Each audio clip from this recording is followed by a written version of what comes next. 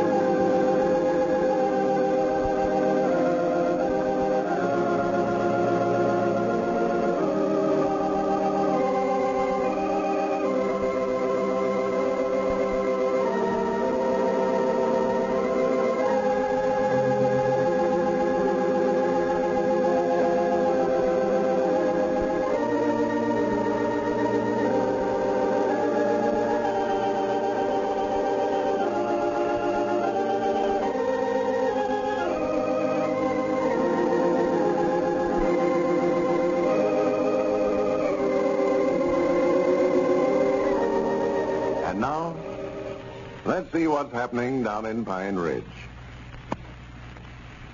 For the past few days, Caleb Wehunt and his son Cedric have been busy constructing Lum and Abner's new store on wheels.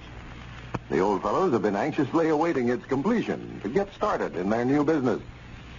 As we look in on Pine Ridge today, we find Lum and Abner just approaching the blacksmith shop in response to a call from Caleb stating the new store is about finished and ready for their inspection. Listen. Yeah, looks like they're closed up. Yeah, more like they took out to eat dinner about what they did. Wait a minute, here's a sign on the door here. Yeah, yeah, that's where it is. Gone to dinner. We'll be back in a hour. Oh, for goodness sake. Now we've got to sit here an hour waiting for them to open up. Well, maybe not. Might not be more than 10 or 15 minutes. Well, the sign there says an hour. Yeah, but it depends on when they left. They might have been gone for 45 minutes now. You mean it'd take them an hour and 45 minutes to go over home and eat dinner? No, Abner, they're more than likely to put the sign up there when they left. They mean they'll be back an hour from whenever they left. Well, how do we know when they left? Well, we don't, but Well, we, how do we know when the hour will be up then? well, we don't know exact. If they left at, say, uh, say 11 o'clock, they'll be back at 12. At 12. Well, they're just 45 minutes late then, right now, for it's 15 minutes to 1. 15 minutes to 1. Yes, sir. What do they think we are taking keep us waiting around here for an hour and 45 minutes in the boiling hot sun? They say they're going to be back in an hour. Well, they ought to be here. Abner, you're just getting yourself worked up over nothing. Well, Caleb telephoned up and said he had the store all ready and he wanted us to come over and look at it. Now, then, the place is locked up and we have to stand around and wait for 'em. Just keep your shirt on. They'll be back. Maybe we can get an idea how it looks through the window here. Well, ain't you saw it? No, not since yesterday. Never had the shells or nothing in it then. Yeah, yeah, there she sits in there. Hey, Granny, that's going to look nice again we get it all painted up, you know it? Yeah, here. Here, let me see. Let me look at it. Yeah. Have to sort of hold your hand up there to shade your eyes. Yeah. Yeah, this window's so dirty you can't see nothing. No wonder to me you don't wash it. Yeah, you've got to give your eyes a little time there to get used to the dark. Dark? Why, it's broad daylight. Yeah, but it's dark inside there. Yeah, but my eyes is out here. All right, all right. Yeah, wait a minute, wait a minute. I can see it now. Yeah? Yeah, doggy, that's a big thing, ain't it? Oh, yeah. You're going to have plenty of room in there. Yeah? Well, I see he's got the, the porch built on the back end there.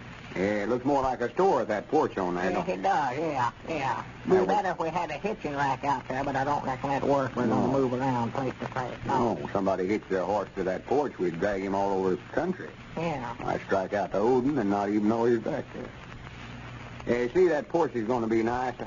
I can sit out there and speak to folks while we're driving along, you know. Give me a rocking chair. Porch swing would be nice out there, too, you know. Well, you're aiming on me doing the driving, huh? Well, I, uh, well, for goodness sake. Huh? I wish you could see your face. What's the matter? Your face there must have got it off the window there. Black all over your nose and forehead. Oh, for goodness sake. Well, don't wipe it off on your sleeve that way. Take your handkerchief. Oh, here, take mine. Yeah, yeah, much obliged. Wait a minute. There comes Dick and Grandpap now. Well, it's about time it takes. Well, what are they doing coming over here? They can't let us in. No, but I told them to come over and see the new store. I was down there when you called me. Oh, oh, And I told them we'd give them a ride in it if they'd come over. you... Uh, you aiming on taking it out this afternoon, huh? Why, sure, yeah. May as well take it out and try it and see how it runs. Yeah. Drive around town while folks can see it. Maybe that'll give them some ideas for a name for it, too. Yeah, sure. It'll advertise it, yeah. I don't know where I can drive that car or not so long. I ain't never tried it. Ain't never tried it. No, Adolf, that chauffeur I had, he showed me how, but I ain't never tried it out here. Well, this is a fine time to be bringing that up after we got the store built. Why wasn't you out here learning to drive the car while Caleb was building the store on it? Well, how could I have the car out driving around while Caleb was building a new body on it? Why you uh, just let it go, let it go. Everything I say today, you try to start an argument about it. Well, I ain't trying to argue, Tom. I just want to I know. said just let it go. Now hush up about it. Well, howdy, fellas. Well, hello, Ron. Yeah, howdy, boys. Howdy. Say, Caleb has a new store already now, huh? Yeah, he called over and said it was all done. Said for us to come down and look at it. but the place is locked up now. The sign there on the door says he went home for dinner. Be back in an hour. Yeah, you, you can see inside there, though, if you, if you look through this window right here. Uh, be careful about putting your face up against that glass. You get black all over yourself. Yeah, you better look in right here. Here's a spot Abner's already got cleaned off for you. Say, by Jack, that's a big thing, ain't it? yeah, it looks all right, huh? Yeah, that's... Yeah, we had to make it big, you know, so we could carry a lot of merchandise. Yeah, well, that's a lot bigger than I thought it was going to be, though. Yeah, move over just a little, Richard. Let me take a look here. Oh, sure, yeah. Excuse me, Grandpa. Yeah, yeah, that's looking all right. Yeah, looks like he's about done with it. Yeah, yeah, yeah.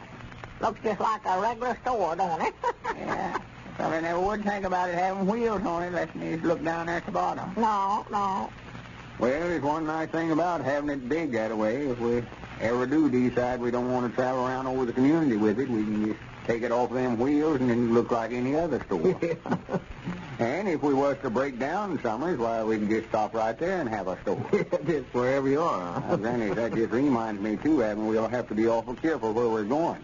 Uh, We don't want to drive out in no field or nothing. Might break down out there, and that wouldn't be no good place to run a store. no, I'll be about our luck. If we break down between Fair and Olden, it'd be right on top of old Piney Mountain there, where nobody don't come along about once every three days. Yeah, and don't ever kill your engine in none of these creeks we're crossing either. or on a hill, Abner. If you ever get that thing to backing back down the hill, don't tell him where he will wind up. Yeah, Oh, might have a store upside down. Hey, wait a minute. There comes Cedric.